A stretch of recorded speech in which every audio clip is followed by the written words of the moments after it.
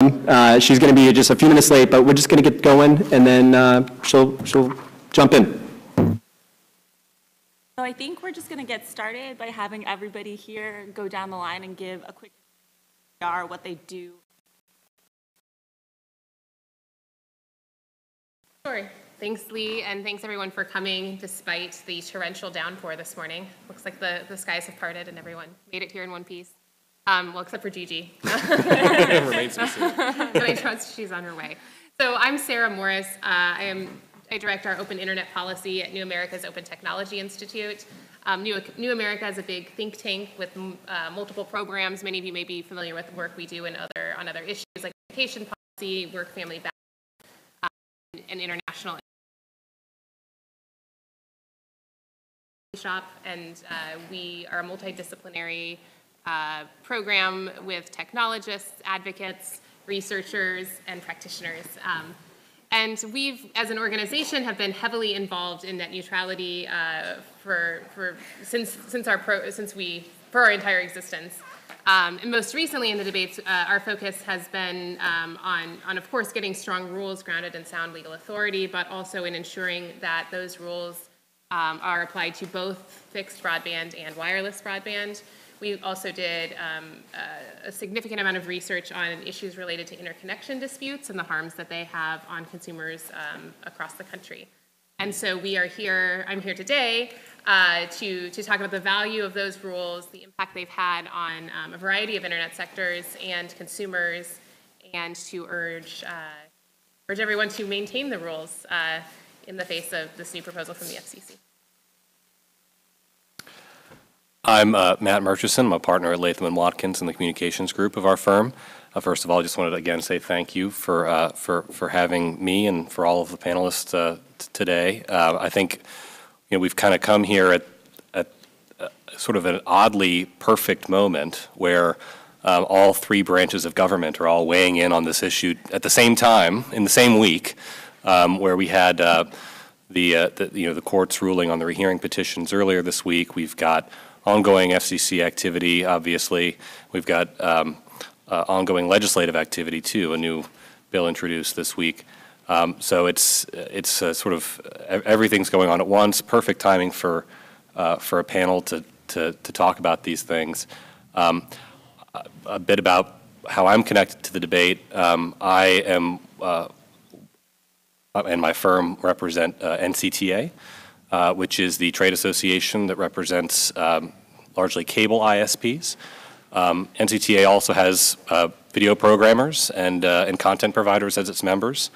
Um, we, uh, um, I think our, our interest in the debate is pretty obvious. Um, uh, NCTA, obviously, its, its, its cable ISP members are the entities that are um, you know, singled out for, for regulation in the open internet rules, and uh, we're the ones that, um, uh, along with other ISPs, are, um, are uh, were made subject to Title II uh, under the 2015 order. Um, and I have uh, represented them both at the FCC and in the, uh, in the DC Circuit Appeal. Hi, everybody. Um, my name is Gigi Sohn, and I apologize for being late.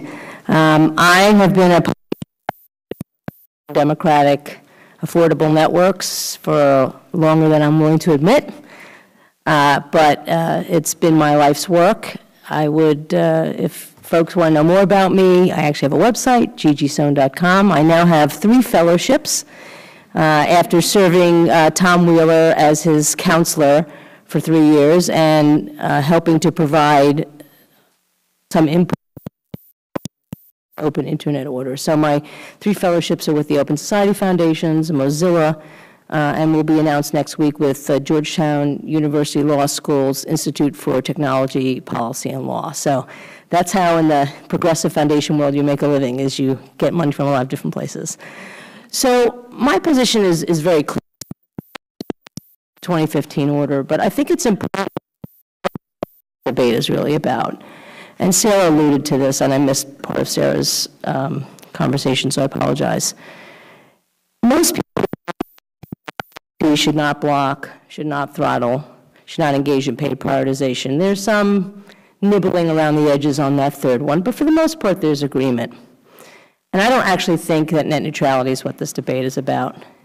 This debate is about whether the agency, which is tasked by law since 1934, and even before that, 1927, with overseeing communications networks, will have absolutely no role in overseeing the most important network of our lifetime. And what does that mean? Well, that means there will be oversight by the FCC, if Chairman Pai gets his way, on things like competition, fraudulent billing, privacy. It, it does amuse me after um, Congress repealed to hear uh, support.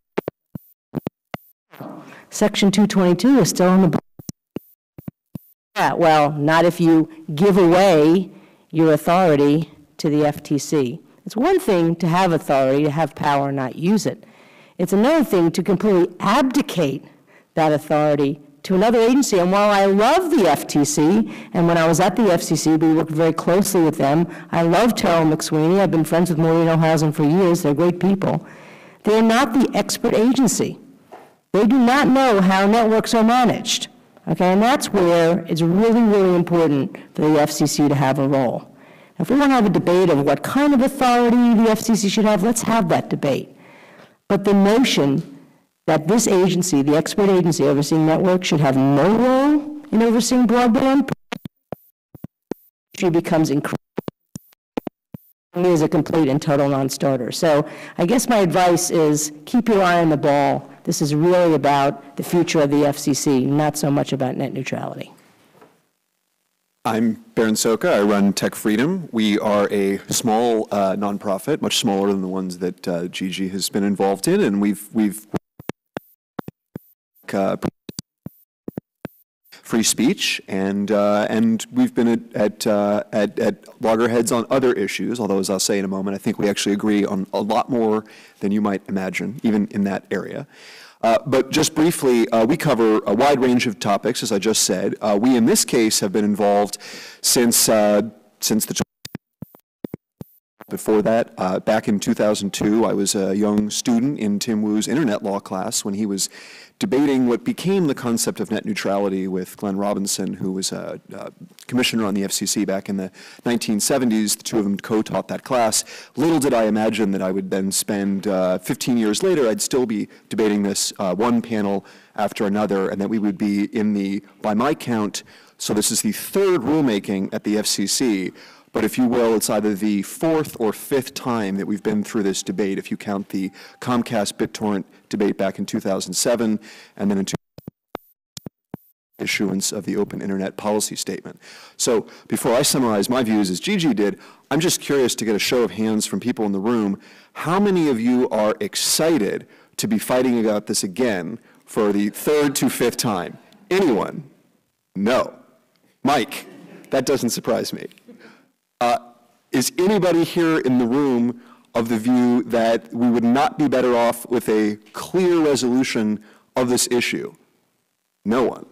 So- So thus far, I totally agree with Gigi. Does anyone here in the room think that it's not the job of Congress to resolve major policy questions through legislation? Right. So we're all all of those things. So, so, so then I'll respond to Gigi. So, uh, the intervener uh, arguing against the FCC, just as are the interveners on the other side. So there are civil society groups on both sides. We represent a small company that met and a series of, uh, of, of entrepreneurs from Silicon Valley who have been involved in VoIP services for who back in the early uh, aughts uh, spent four years trying to get the FCC to issue the Pulver Order in 2004 that drew a clear, bright line between uh, the internet, VoIP services, and Title II, which was part of that mix of things that the FCC did leading up to 2005. And we, uh, I'm happy to say, have led the losing side twice in litigation, which is to say that in the most recent uh, denial of rehearing, we got two judges on the DC Circuit to agree with us um, wholeheartedly that this is simply not the kind of question that is appropriate for the agency on, that it is a major question, as Justice Breyer uh, has started to argue when he was a law professor back in the 1970s. Sort of Congress. And so we intend to take this court, this case up to the Supreme Court.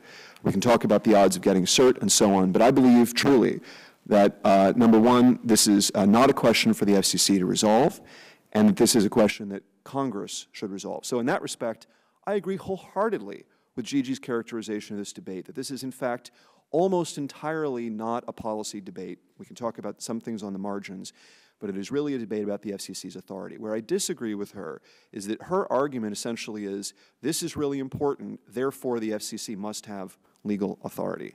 And my argument is that uh, we simply we, we decide policy questions after legal questions. And my view, Ajit's view, uh, Commissioner O'Rielly's view, Rob McDowell's view before him has always been that the FCC simply does not have legal authority here, and that if there is to be a, the implementation of a policy consensus on net neutrality, that is a job for Congress to do. And that before that happens, the day that the FCC issues the order in this proceeding, that these issues will revert to the status quo ante 2010, which means the Federal Trade Commission will be the lead federal agency. It will enforce competition laws and consumer protection laws, as well as holding companies to whatever promises they make. The Department of Justice will enforce the antitrust laws along with the FTC. And in case you don't tr trust the Trump administration, keep in mind that all those state attorneys general, including those Democrats who are very active to go out and, and, and bring big cases, that they too will have broad powers to enforce the existing antitrust and consumer protection laws. And so will private plaintiffs. In other words, there is a layered approach that, is, in my opinion, could always have addressed these problems. And I will just close by saying that, to me, the moment when this debate went off the rails was in 2008 when the Federal Trade Commission stood ready to bring an enforcement action against Comcast, the leading Democrat, Jon Leibowitz, and the Republican, Debbie Majoras, were ready to bring that case. And the Republican chairman at the, the FCC at the time insisted that he was going to decide this case because the FCC had to have a role. And in a sense, he agreed with Gigi. And that was the debate at which this, uh, the moment at which this debate went off the rails because we didn't have the FTC explore its authority. We could have had a constructive conversation about what more to do with that, and I would be open to legislation that would enshrine in law clear bright line rules. I would prefer for them to be enforced by the Federal Trade Commission, but we can have that debate. But unfortunately, we have then proceeded since then on the assumption that the FCC has to decide this, and the FCC must have legal authority no matter what by any means necessary. And that, in turn, has brought us to a complete reversal from the late 1990s, where Democrats were saying things like, let's not dump the whole morass of Title II on the cable pipe. All right, so we got a lot to cover today. um, really appreciate you guys kind of laying out some of the different positions on this. I think there is a broad discussion to be had, and I'm going to start a little bit narrower with just what's immediately ahead of us um, in terms of what's going on at the FCC with Title II and the by Chairman Pai to undo those rules. Would love to hear what you guys think about how that process is going to play out, and if you think the FCC can successfully back Title II.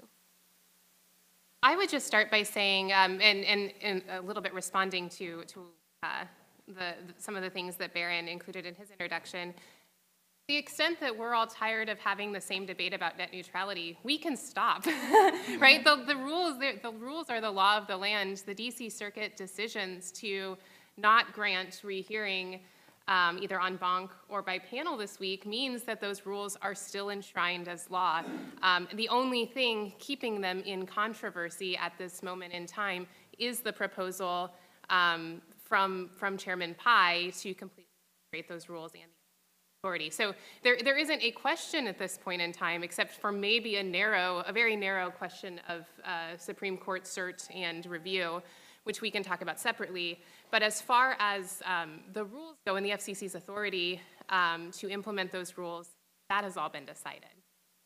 But, but I, I have to say to Sarah, I feel like we're, we're in one of those like broken relationships we're going to the therapist and I'm saying, you know, that she doesn't listen to me because, because the, the, the debate here is about legal authority. And, and, and, and the other side just, just doesn't, they don't acknowledge that there have been longstanding valid arguments from, uh, from us and from the commissioners rejecting the underlying premise that the agency has authority. And if you take that premise away, then, then the rules themselves are, are just, they're just not something the agency can do. So I would just object to the characterization of the question. This proceeding is not about the rules.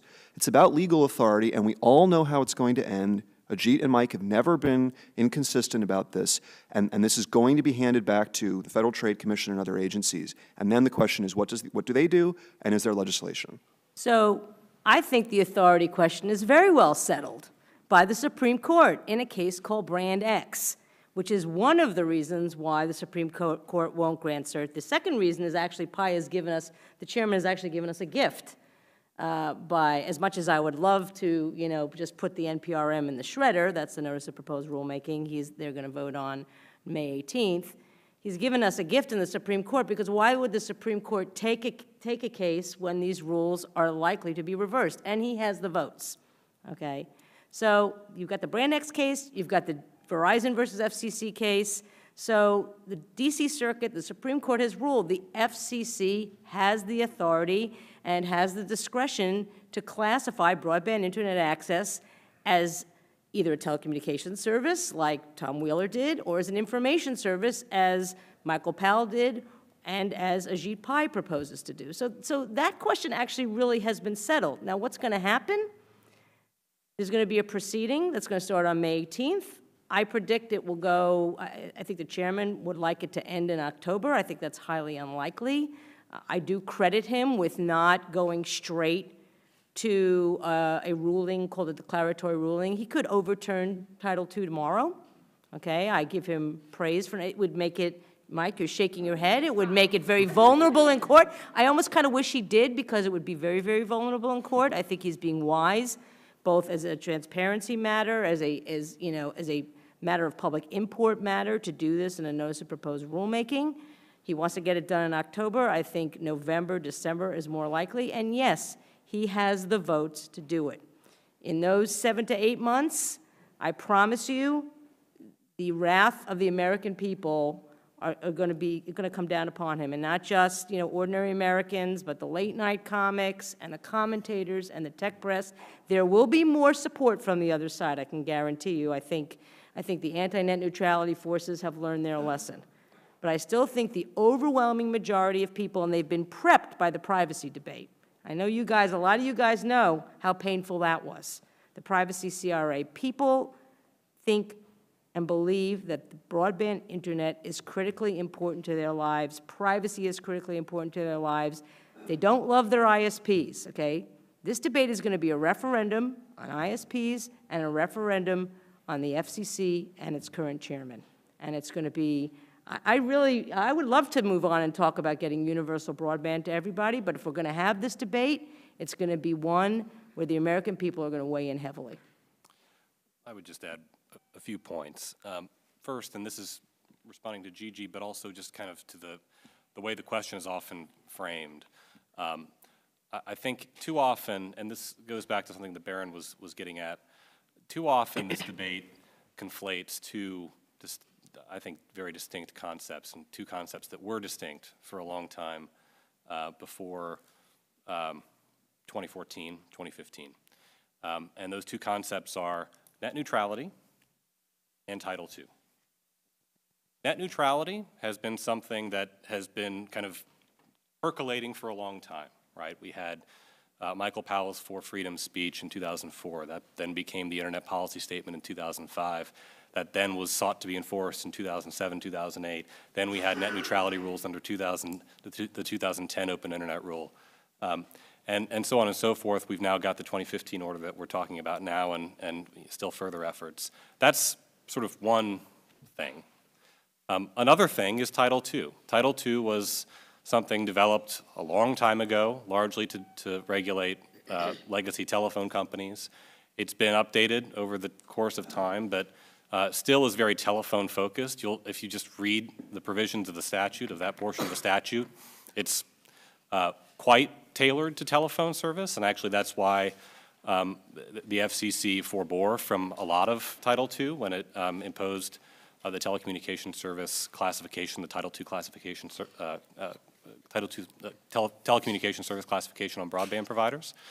Um, But I think we need to kind of keep those two things separate because the fact of the matter is you can have net neutrality without Title II. Title II is a source of legal authority that has been cited in 2015.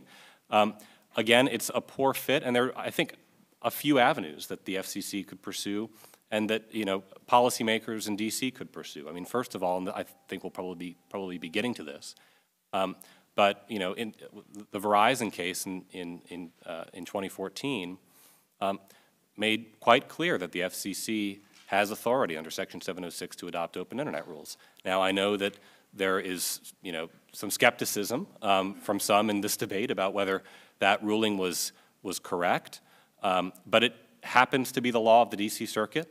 Um, It was reaffirmed in the, in the US Telecom case. Um, So Section 706 exists as, as a reservoir of authority. Uh, But even separate from Section 706, um, net neutrality is possible if we just kind of solve the legal authority question once and for all. Um, And that's done through Congress. Um, Congress hasn't really said anything about net neutrality before. Um, I think we all kind of wish it would, um, because then it would uh, take, I think what, I- and I agree with, with, uh, you know, Gigi and Berin, you know, I think pointed out that there's largely agreement on some of these policy issues. Um, You know, maybe disagreement at some and we can talk about that. But, um, you know, a- a colleague of mine said, and I think it's accurate, um, this is one of those rare instances where we have, you know, 80% of the people on one side and 80% of the people on the other side agree on about 90% of what should happen. And legislation has overcome uh, far greater hurdles than that. Um, So I think just, you know, it's, it's important to, to just keep the two concepts separate. I know that there's, you know, that we're going to hear uh, how they are, you know, necessarily intertwined uh, from others on this panel, but I think, you know, it's, it's, it's useful as we think through this debate that they don't necessarily have to be the same thing, and they, they really aren't. If Andrew Jackson were alive today, That's great. So, so can I just, I love that. This is, this is where Berin and I, Don't- go, go, don't- go don't- finish. don't go I get to finish? I mean, go- that- go finish. okay, okay. I just thought that was a cute Thank you.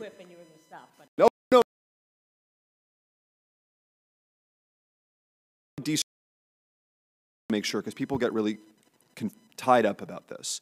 So the reason I say that this is, that, that there are going to be no rules and that this is not a debate about rules and that the comments that will be filed in this docket about the rules are really better directed to Congress is that we already know what the two Republican commissioners think the agency's legal authority is here. They believe that, that uh, Title II not be applied to broadband, that Brand X was, a, was about a different service and was about confirming the agency's discretion over that service to decide. Now, you may not agree with that, but that, so that's number one. Number two, they agree with me. I, I, we, our organization has been the most outspoken in explaining why Section 706 cannot be read as an independent grant of authority, that it is in fact a commandment to the agency to use its other tools to promote broadband deployment. If you, if you get to those two premises as a predictive matter, I assure you that the- Republicans on the commission will. That means that Gigi, in what she said in the outset, will be correct, that the agency will be saying, we do not have authority here. That, now, there's a little quibble about what the agency could do with ancillary jurisdiction. We could talk about that if you really want to. Suffice it to say that the agency, that door was opened in 2010 by the Comcast decision. The agency never really fully explored it, but they're not going to, and, and nor should they, for all sorts of, of good reasons. So this is a debate about the agency's legal authority. It is not a debate about policy, and those, those, it, those comments are best directed to Congress, as I said. And then just a word about the litigation. Gigi's correct that the, the court is not likely to grant cert. But it is difficult to predict here what will happen and how the court will operate in the future. The administration, I think, is, is in the same situation the Reagan administration was in in 1981, where they came in wanting to change all the things that, that doctrine. And they quickly discovered, only too late, that by mooting the cases, uh, the, the open uh, administrative issues, that they mooted the litigation that they would have wanted to change precedent. And I will just put out here now that I think that it, there's a very good chance that this uh, administration and the FCC will in fact ask the court to take this case. And the reason I say that and this is the most important thing I will say to you today, again, a, just a purely predictive matter, is that under the current law of the land, which Gigi describes, Brand X and US Telecom, the commission has the discretion to go up or down. And what that means is that when Ajit is done with this proceeding, this issue will be handed back to that layered approach that I described, and there will or will not be legislation. I want there to be, but I have to assume that there won't be. And if there is not, what will happen is we will spend the next four to eight years under the FTC-led approach, with DOJs and state Democratic attorneys general and so on playing their role, and then the next Democratic FCC will come back and re-reclassify and reinterpret 706 as a grant of authority, and we will be right back where we started.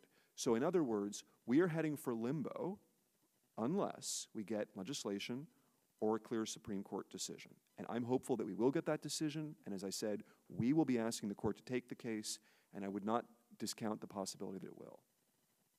Follow up first. Curious to hear what you guys think about whether um, net neutrality rules ban throttling, ban blocking pay for this without Title II. Um, I mean, they, they absolutely cannot if you put any, any stock into the DC Circuit, which has now, and it's important to remember the DC Circuit has ruled over and over again on net neutrality rules. The reason that we are still having the debate, not because um, of some like radical change in strategy throughout the debate, it's because the FCC has historically tried in good faith to implement um, strong net neutrality rules up until the 20 uh, to find the right balance of rules and legal footing, which, which they did. And they, they followed the, the roadmap put forward by the DC Circuit um, in, in the Verizon v. FCC. They crafted rules that were grounded on, on strong Title II authority. They forbore from all of the, the portions of Title II that were inapplicable. Um, and, and what we were left with were, were very clear prohibitions against blocking, throttling, and pay um, behaviors that the, the record made clear were particularly problematic.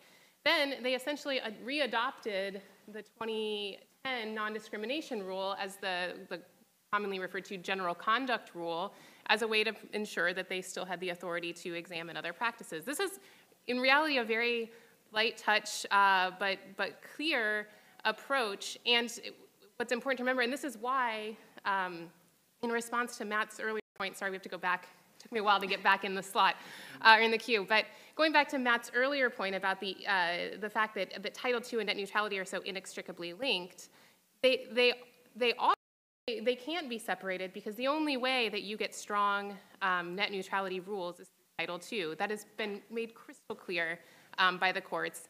And wonderfully for us, that is, that is the current state of play, as I said earlier. Right now, we have strong rules, we have clear authority.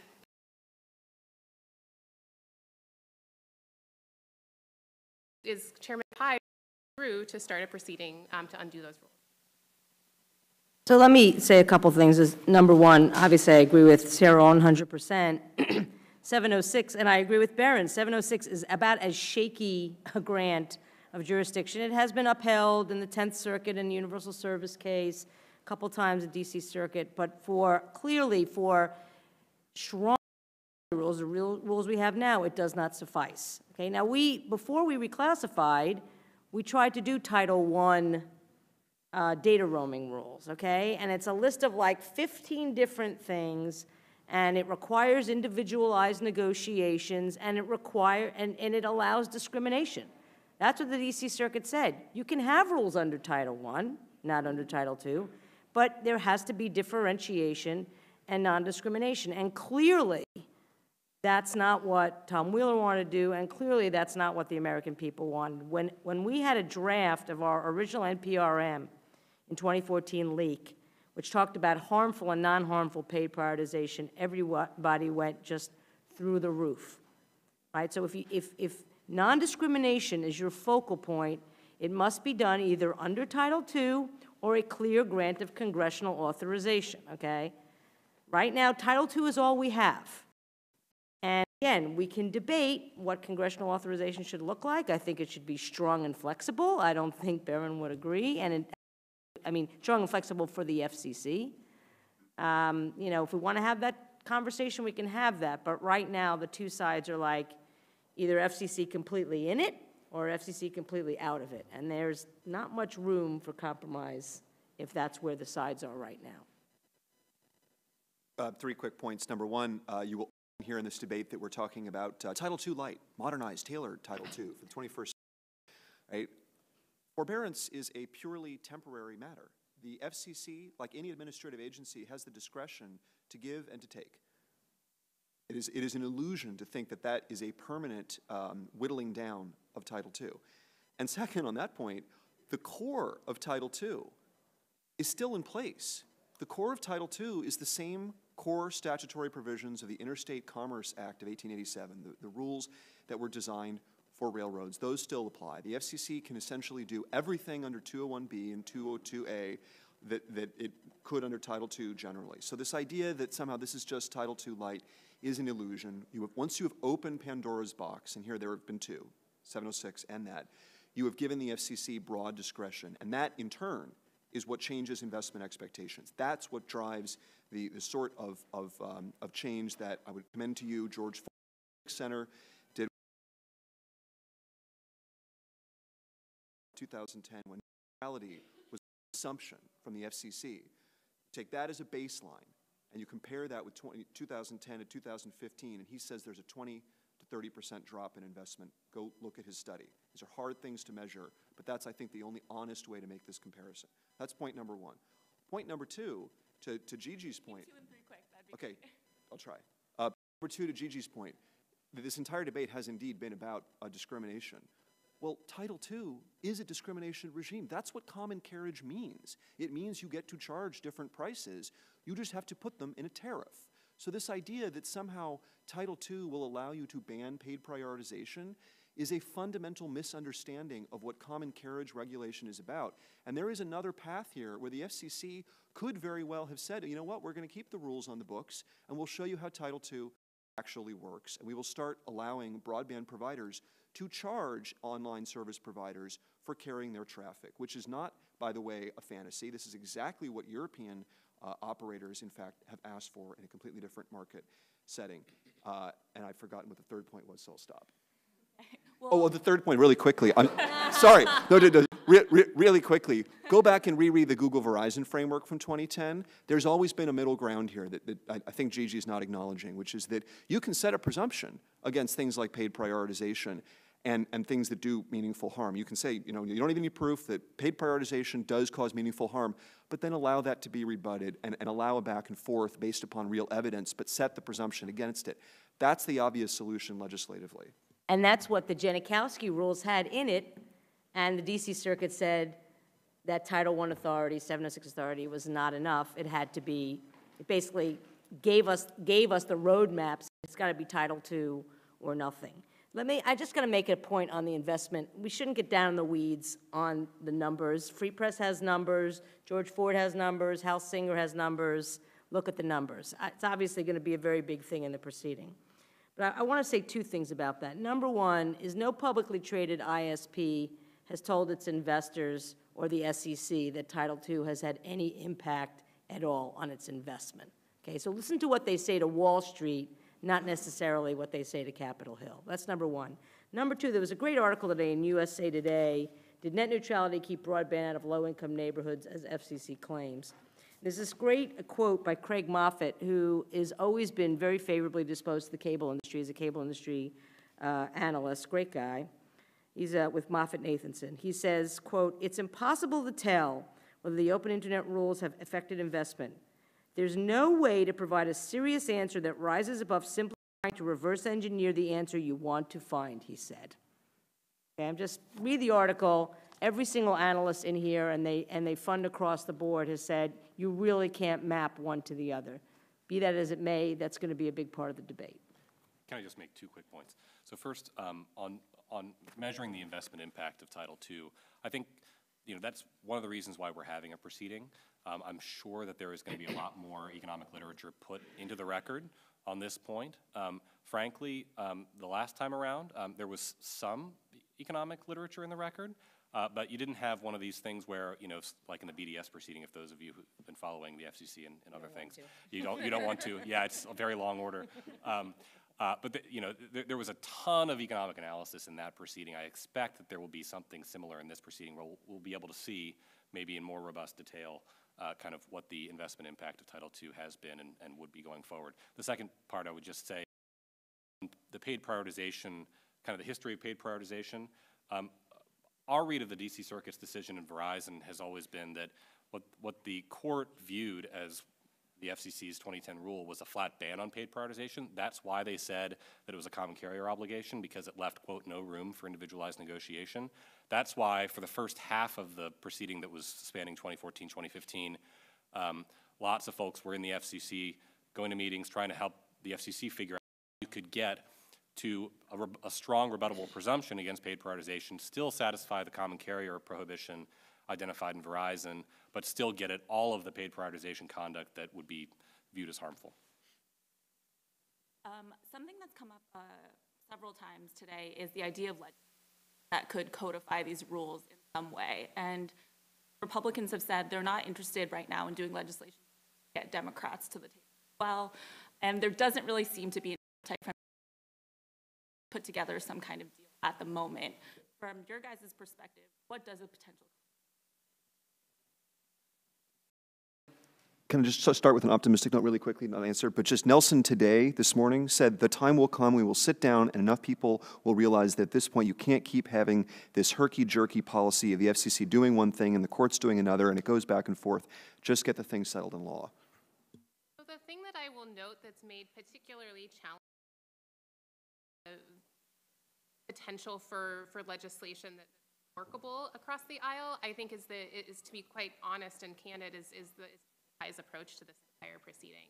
Um, for someone who came to uh, the chairmanship uh, on something of a platform of transparency and um, who spent the majority of the previous chairman's term criticizing him for a lack of consensus, he has taken a very uh, um, one-sided and extreme approach to addressing this problem, which um, I think is making it very difficult for um, advocates and potentially for, for, um, for those on the Hill to really engage meaningfully because they're starting from such a, um, a challenging place and with very little opportunity so far um, to engage in the conversations. that- face that Sarah, can- can you explain- Very- Like, can I finish, please?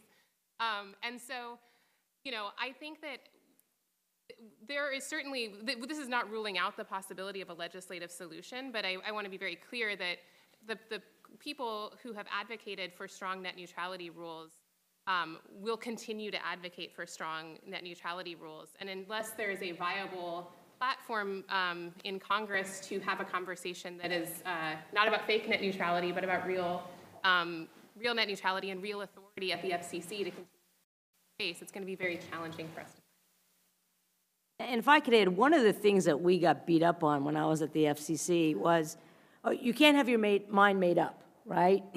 This is an open proceeding, you have to look at the record, you know, and we got beat up by Ajit Pai, who personally I like very much. But he's basically gone out and said, this is what I'm going to do, the record be damned. I mean, he hasn't said the record be damned, but that is his posture. And I think, I think the reason he did that was to try to scare Democrats and get them to the table. So I spoke at a, uh, at Tim's event in, in January, where Chairman, Po- uh, Chairman Thune got up there uh, and said, you know, when, when the Democrats see what the Republican FCC is going to do, they're going to come running to the table. Except it's backfired. And I think that the flame was kind of lit in that regard by what happened on privacy. I think that was a strategic mistake, you know. The ISPs blame the Hill, I don't really care. They were really great and important rules, and now they're gone. But the agency could have rolled back those rules slightly in a way that would have made most of the ISPs comfortable. But instead, they went for the nuclear option. So that started things down the wrong path. And, and even moderates like Senator Nelson or Congressman Pallone were like, what the hell? All right, so that started down the, the wrong path. And then you get this NPRM, which, you know, he, he called it light touch regulation. I call it no touch regulation, because it is leaning heavily not only into abdicating the FCC's authority, but also having no rules whatsoever, not even Title I rules. That just is leaving a bad taste in everyone's mouth in an environment that's already very partisan and polarized. So I don't think he's done himself, I agree with Sarah, I don't think he's done himself any favors. Were you going to make a point? Okay. Um, CRA uh, was, was very much uh, counterproductive, and I, I was ambivalent about this at the outset, uh, and I regret that it happened, and I, uh, looking back at this, would have told people that that would be highly counterproductive, precisely because, as Gigi points out, we were already going to resolve this legal question uh, through this rulemaking, which is, again, what this is about. Now, having said that, I, I'm, I'm astonished to hear people say that the, to criticize the way that it is rulemaking. Let's rewind to 2014 when Tom Wheeler rushed out his NPRM to the point where Jessica Rosenworcel uh, said that uh, I, I think that the process has been flawed. I would have preferred a delay. I think we moved too fast to be fair. She joined with the JEET, urging them to take more time on that NPRM. Now contrast that with, with this proceeding, where the FCC chairman, for the first time in the history of the agency, as far as I am aware, published a draft in advance to give people the opportunity to help shape the questions that are asked. And now, well, all that's going to happen on May 18th is the FCC is going to put out a document asking questions as to the agency's legal authority first and foremost. And when you hear Sarah say that, that this isn't fair, this is slanted against them, we're just, we're circling around the same thing that I keep coming back to, which is it's as if they keep skipping the, the, the parts of the, of authority. That's what this debate has always been about for us. So it's not surprising that the agency would come out and say, please tell us what you think our legal authority is, and then from that, what we should do. Because that's what this debate's going to be about, and they will have ample opportunity to lay out their views of the agency's legal authority, which is pretty well established on the record. So will we, and it's not a surprise that the agency is very likely going to do what Ajit and Mike always said they thought the law means, and that this is fundamentally a legal question, and that arguments about policy will not particularly change that outcome, if at all.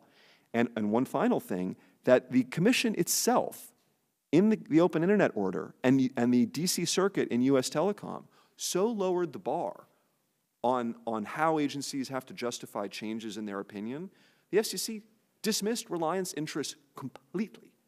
So it is ironic now that you see some of these same organizations coming back and saying, oh no, you have to have a rich record to justify your changes. And, and where's the, how do you deal with reliance interests? Well, if US Telecom stays on the books, those arguments are irrelevant. He took the words out of my mouth on the transparency point. I think uh, this, this chairman has been remarkably transparent, and there's an obvious way to go in uh, to, you know, to meet with folks, to ask them questions about a draft, ask them questions once the, once the NPRM released. Um, you know, that's, that's a process that we're all still getting used to, but it's a process that's working. Um, and, and in fact, you know, as, as you've seen, I think over the past couple months, you know, the agency has been tweaking uh, based on kind of input that's received based on, uh, you know, the drafts that are, that are released. Another thing I would just add is I, I think it's, there's just been such a, a, a rush to characterize uh, what the draft, and talking about a draft NPRM, what the draft NPRM contains and does and says. First of all, it doesn't do anything, it asks questions. Second of all, it, it asks questions in a very open-ended way. I don't think, and I'm sure somebody will control F and, and check me on this, but I'm not sure there's one tentative conclusion in the whole thing. I mean, the, you know, the FCC often will sort of announce a tentative conclusion, and it'll say, we tentatively conclude that blah, blah, blah. And, you know, that sort of strongly signals where the FCC is going to end up, and it's hard to walk back from that when the FCC does it. That language is, is absent, I think, from the NPRM. Again, you can check me. Um, but I, I, I, think, you know, there, there's been talk on this panel about how the, the outcome is, is preordained. Um, I think uh, we'll see. Um, in, in the 2014 proceeding, um, it, you know, it was interesting to see kind of how things changed uh, on a dime. Um, as we all know, very quickly, um, abruptly, we were having meetings about one topic um, the day before it happened and having a meeting on a completely different topic that we didn't think was even in the ballpark the next day. Um, so uh, all, all that is to say, I think, you know, we shouldn't sort of all assume we know um, how this crazy story is going to play out, because it's certainly been a wild ride so far. Can I just say, it, it's great to hear that there have been changes made to the draft and that there's been engagement along the way. That, I, I, I guess that's easy to say when you're a member of the industry or the Republican Party, because that hasn't been the case for, for others. And I think even this week, there was an, an article from, from Politico uh, about the chairman's posturing and building up, I don't know if it was a Republican war chest or an army or what the precise characterization was, but that's not the sort of posturing that, that you would want to put forward if the ultimate goal is to build consensus and um, acceptance around your proposal. Particularly, proposal is so dramatically different from the existing um, and uh, existing rules. I just need to clarify, I resent the implication that I'm a member of the Republican Party. Well, I mean, to be clear, the chairman announced this, this proposal um, at, at a, Repub- a private Republican event. Um, it, But no, no, Sarah, come on, look, f- there is a free market, principled, libertarian, conservative movement that is distinct from the Republican Party. And if you can't acknowledge that, I, I have to take that a little personally. I, I'm sorry, I wasn't intending to lump all Republicans together, and I hope no one. No, but they're not all- that. that's the whole I'm point. They're not all Republicans. Is that the approach that the chairman has used thus far in rolling out this item, um, and, and it- with the acknowledgement that it is a preliminary item, uh, the draft from Chairman Wheeler changed dramatically um, in, in the, the time from when it was put forward in 2014, March of May of 2014, and when it was ultimately adopted. Um, but, but the, the way that this is, my point was merely that the way that this has been rolled out does not suggest a willingness to come to a consensus-based position, but rather a, um, a specific position that seems Legal questions are not amenable to consensus-based decision-making. The job of Congress is to reach consensus. The job of the agency, first and foremost, is to determine what the law means. Well, except that this chairman, ever since he walked in the door, talked about consensus building, how Wheeler just did whatever he wanted. Trust me, I mean, I still have like the dents upside my head. You know, he did his own press conference more than any other minority commissioner. Spent his time beating up on the chairman and his, you know, I gave him all these changes and he didn't take any of them. And so he has, he has cut his teeth on some sort of consensus builder, and I praise his transparency. I wish that my boss had been a little bit more transparent. And I've said, I'm not sure putting out the whole item, but if it's working, fine, I don't have a problem with him. I praise him for that. But let's not, let's not fog what we think about the substance, which is bad, and I disagree. Look, if he's not saying he's tentatively concludes he's reclassifying in that item, I don't know what the hell he's saying. If he didn't say conclusion, so what? I mean, he said it in speech, he's probably saying it right now at the, you know, at AEI, okay? He wants to reclassify. Where it was a little shakier, although I think it was heavily leaning, you can lean without saying tentative conclusion, do we need these rules at all? Right? And, you know, there were all those rumors about, you know, ISPs making promises enforced by the, you know, by the FTC. To me, if you whole package and everything been saying since the day he became chair, does not think the FCC should have oversight authority over broadband, that the FTC is an adequate police person or police agency to do that. And that's where we fundamentally disagree. And if that's the way that Congress is going to go, they're not going to get any buy-in from our groups or the Democrats, for that matter. Gigi's framing puts this debate into stark relief. She says policy questions. Those are questions that you resolve after you determine whether you have legal authority, not before. And I, and my point to you again today is please do us at least the courtesy of acknowledging that these are, these are distinct questions and that we have views about the legal authority here for, for very good reasons, for the same reasons that EFF, back in 2008 to 2010, referred to the FCC's original theory of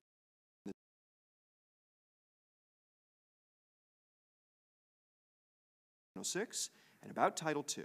And then EFF came to its senses. When the person left who had been responsible for that work and the organization changed, and I think that is deeply unfortunate that there has been a lack of skepticism about the unintended consequences of invoking legal authority. I just leave you with, you know, the great Chekhov line about the, the- his, his advice for writing uh, uh, theater, drama. If you show a gun in Act One, it must be used before the end of the play, right? this is the way to, to understand claims of legal authority, right? Once you invoke something, you can say you're forbearing and you're doing a light version of it, but it is only a matter of time before that legal authority is used in ways that you yourself may deeply regret. And I would commend Gigi in this respect because it was public knowledge. And I think Gigi personally, who fought one of the most important battles, I believe back in 2004, 2005, over the FCC copyright policing into its authority. Where we, if we had been having this debate back then, we would have seen basically exactly a flip-flop, where Republicans were, were making the mistake of saying, well, there's a problem, we got to do something about it. There's no other adequate remedy, and therefore we must have legal authority. And Gigi, to her credit, stood up and said, no, you do not have legal authority. That is the question to be answered first and foremost, and then we can have a policy debate. I have a final question for you. Wrap up. I am curious to hear what you to happen so that we're not sitting here in the same four to eight years from now having the same debate. What needs to take place? I mean, I think what needs to happen, and I say this with a tremendous amount of optimism as someone who listened, who, going back to the, the original proposal from Chairman Wheeler in 2014, which did not include, which was not, uh, it, it included Title II, but it was, uh, it leaned more towards a 706 approach. And there were a lot of people, there were a lot of debates and panels like this that said, hey, guys, like, you just need to, to move this forward. Um, th- this proposal sounds okay. And we said, no, we need strong enforceable rules grounded in clear legal. And, you know, a tremendous amount of groups, um, DC advocates, grassroots and net groups, groups- across the country, um, groups representing communities of color, companies large and small, um, got together and said, we're gonna, we're gonna fight this fight and we're gonna fight it till, till the very end. And that same constituency is still, still motivated. And so what I say, say to you all is, what's next? How do we avoid fighting this? We have to be impassioned. We can't be afraid to, uh, to wade through the murky questions and come out with, with the right response. And I, and I think um, we will see a reinvigoration of energy into this conversation. The clear will of the people that we saw in 2014 and 2015 heard once again. So you said strong, enforceable, open internet rules grounded in, in uh, lasting legal authority. I, I would, I mean, emphasize the sort of durable or lasting aspect of that legal authority. Clearly, you know, we're going to be flip-flopping back and forth as administrations change over this legal authority debate. Um, And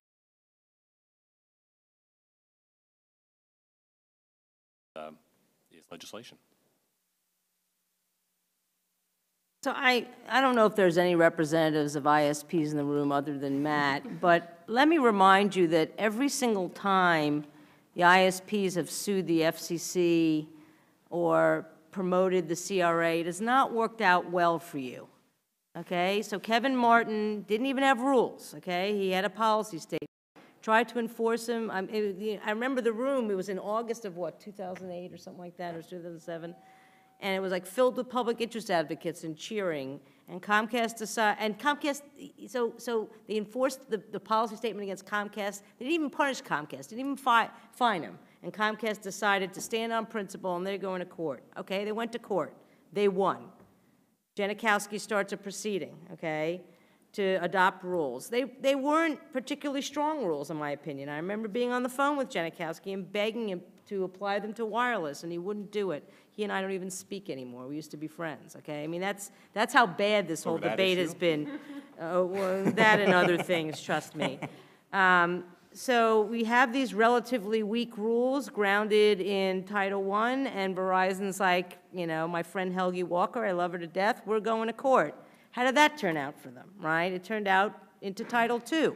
Same thing with the CRA. The ISPs, you know, push for the CRA. Again, there's some debate over who was pushing for it.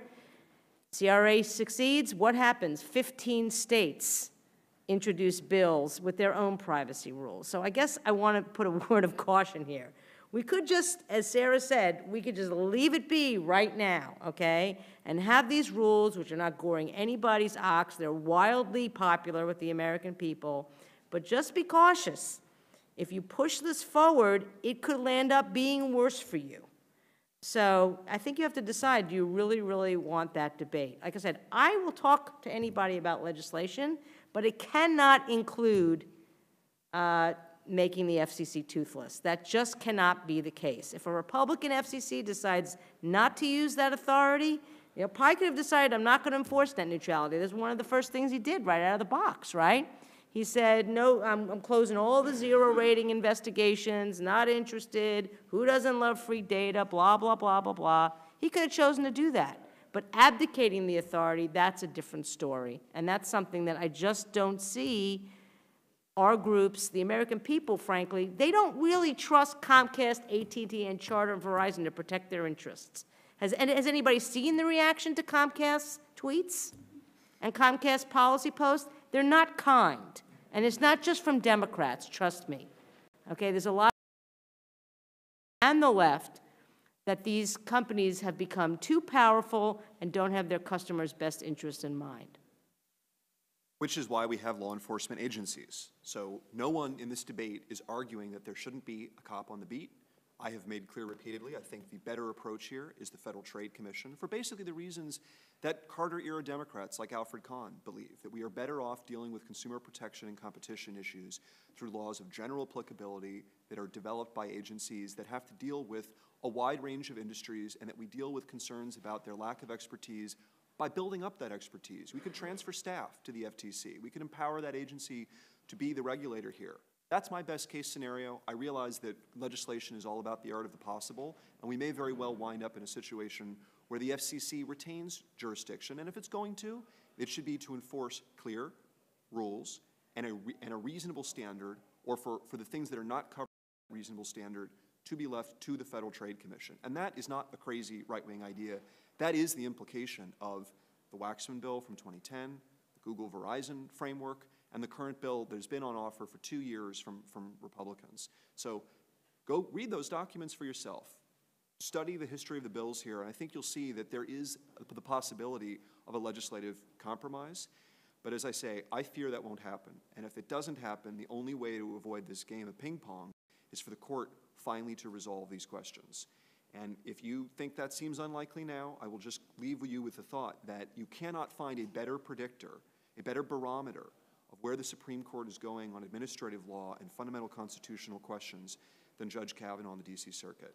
He has, in several cases, in dissents, has led the way for the Supreme Court to start drawing major lines around how administrative agencies operate, most notably in the UARG decision, which is one of the cases that we think there is a reasonably good chance there is an NPRM out there making the court less likely to grant cert, just as a matter of managing its docket. I, I hold out hope that the court may finally resolve this, and that that indeed may be the only way to get Congress finally to legislate here. guys so much for being here, being with us, having this very lively discussion about this topic. Great stuff. I, I move this so it wouldn't be in the shot. Oh, thank you.